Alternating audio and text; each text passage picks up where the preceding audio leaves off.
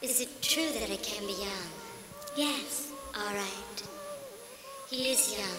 He approaches Marguerite Ida and Helena Annabel, who wakes up and looks at him.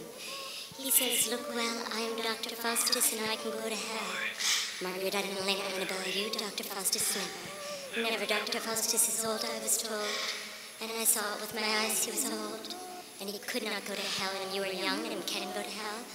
Very well, you are not Dr. Faustus. Never, never. Faustus, I am, I am. I